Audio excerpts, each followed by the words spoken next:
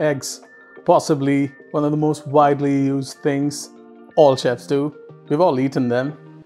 Hey, here are my three simple recipes where eggs will make you popular.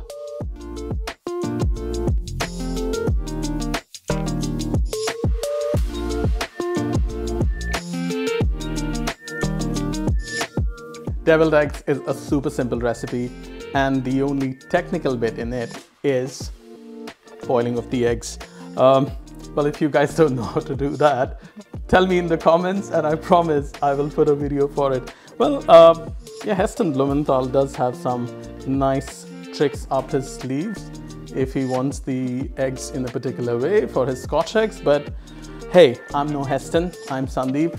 So all I need are those eggs hard boiled. And from there on, the recipe is actually quite simple. You know, just split them into two. Just gently pop the yolk into a bowl. The egg whites on the side. And that is stage one of deviled eggs. The yolks are all out into this bowl. Um, and from here on, well, from here on, it's your painting. You can do what you want with it. I promise you simple recipes, so I'm not gonna go chefy on you. I am not, repeat with me, not gonna put these in a piping bag. We're just gonna use spoons. This is a dish that you make when uh, you have a lot of guests coming in and you're short on time. Yeah, just get the yolks out, some salt in, and let's just build some flavor. I feel like putting some onions in there. I've got some nice Tabasco sriracha We'll put that in there. I have some mayonnaise. Trusty mash it out. And as I mash it, you guys think about what are the other flavors that you would want to put into this. Now it might look a little runny at the moment. That's because I've used some homemade mayonnaise. Uh, it was in my fridge for a while. But you'll see that as I mash it, the eggs or the egg yolks are gonna make it nice and thick and creamy. I feel like adding a little bit of pepper to it as well. You know, I've got a really easy tip on how to take shells off uh, hard-boiled eggs. It's in one of my videos and uh, yeah, just as you subscribe, you can also go onto the cards and click on those kitchen tips. There are heaps more tips uh, but yeah, I've got some really cool ways of deshelling an egg. Sounds like a simple thing to do? Well, not till you see that video. Okay, we're all done here. Taste test. Hmm. More sriracha. Give it a good mix. And we are ready to plate up. So in the good old days, quenelling was done with spoons. I think I can't do it. I couldn't do it in MasterChef. So we'll just use two small spoons to fill these eggshells or egg whites. And always do that on a board if you want your final plated dish to look any good. Always do this process not on a board where you're gonna serve it. And you know, just go on filling, mate. Just go fill it up. And trust me, your guests are gonna be really happy and they're gonna be impressed. Maybe they'll also ask you to apply for MasterChef. Actually, you should. In terms of costing of a dish, I don't think any dish comes to be as cheap per portion as a deviled egg.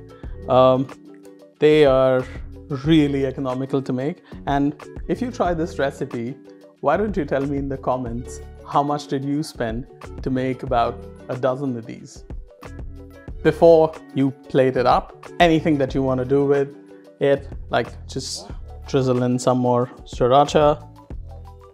As you can see, budgets haven't been kind, so I don't have enough money to buy a whole new bottle. but you can just make it look like it's got blood all over it. And then just a fresh flourish of some coriander and we have an amazing looking MasterChef level dish that your mates are going to be proud of. First of the three. Deviled eggs was super simple. This one here, I'd say simpler.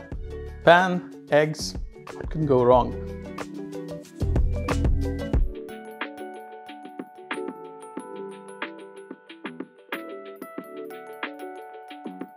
I have some fantastic memories of this dish. And one of the things that I do while making eggs is I use some milk. Not much, just like a couple of tablespoons. And what that milk does is it'll fluff up the omelette that much more. And it also makes it, it kind of gives it a bit of a base uh, for the spices to all go in. Well, in no great order, I'm gonna have my wonderful red, beautifully mild Kashmiri red chilies, my super secret garam masala, and hey, this is a Kashmiri garam masala, traditional to my part of the world, at least from the part where I was born, and a secret recipe from my family, which a lot of other families know, but from home, preservative free. You can do what you want with this recipe, in fact. I'm just gonna add these spices into the milk, some salt, Give it a nice little mix. We'll take in the fresh eggs and we mix. It's really nice to know if anyone of you uses milk while making omelets. If you do, let me know in the comments. And if you don't, and you think that this is a questionable practice, well, I hope you don't eat cakes either. You don't have to get it over fluffy. At the end of the day, it's gonna go into a nice cheesy bun. So that's pretty much it. I've got my pan decently hot and onto the pan, I'm gonna add a little bit of butter. Now butter makes it rich, but what really prevents the butter from burning is olive oil. Again, something that I picked up during MasterChef.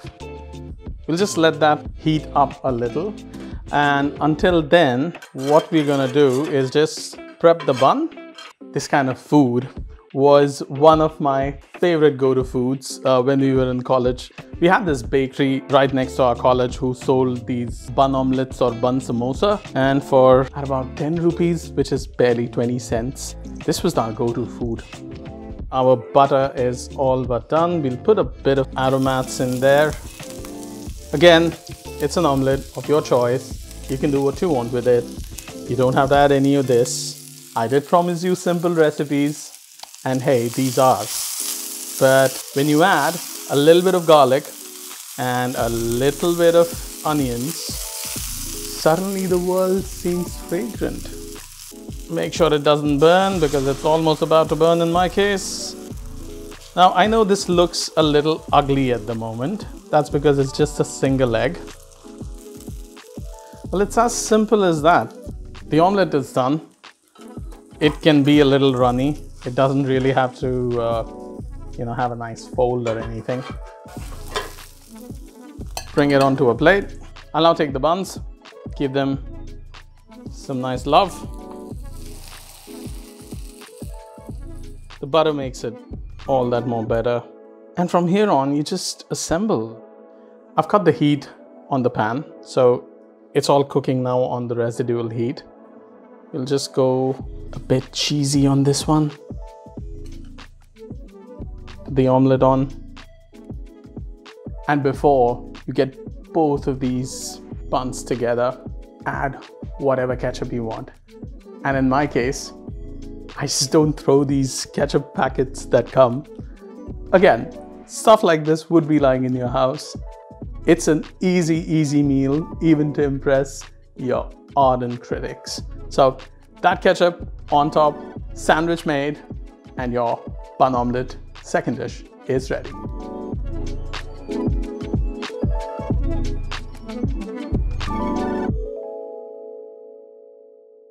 Shakshuka is a love affair, a dish that I learned in MasterChef from my very good friend Mandy Hall. It is a Middle Eastern dish, but hey, like everything else in the world, put the spices in. It'll lift it up. So I've made an Indian version of it, which will make you into superheroes.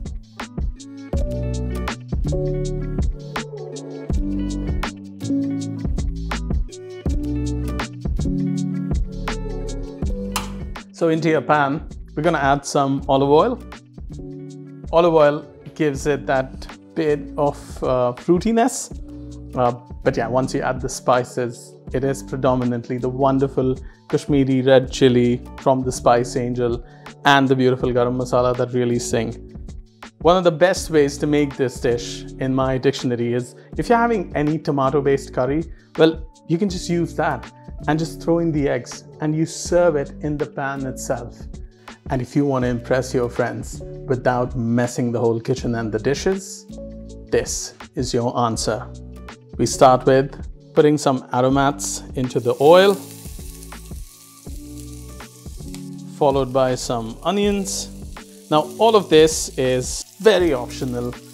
I like these flavors, so I'm just going to go for them. But you can just empty a can of chicken tikka masala in there and throw in the eggs. Even that would be your version of a shakshuka. In fact, if you do it, let us know in the comments. We'll get the onions sizzling a little. You don't want to really overcook them. This dish is all about texture. I've got some bell peppers here. Uh, we made a quick barbecue and I'd put them on the fire. So these have already been cooked. I've got a whole assortment of vegetables over there. And as you can see, you can basically empty your uh, fridge while making shakshuka. It is that simple. And as I've said, the best thing about this dish is that it will be served in the pan that it's cooked in. In go the spices, the Spice Angel Garam Masala, no preservatives, no chemicals, some Kashmiri red chilies, and a bit of coriander powder. The spices are optional a lot of my Middle Eastern friends will actually frown. Please don't, they taste good. You can order them in the description below. In fact, this entire recipe is down in the description. Get the spices toasting a little, all those flavors, those colors, those aromas. It is quite heady. In the spirit of super simplicity, I am not going to use fresh tomatoes in mine. We will use canned ones they are perfectly fine to use. You could use fresh tomatoes as well, just cook them through. But in my case, I love to use canned tomatoes. They're pretty nice. And above all, they're already cooked, so it cuts the cooking time as well. Don't forget to season.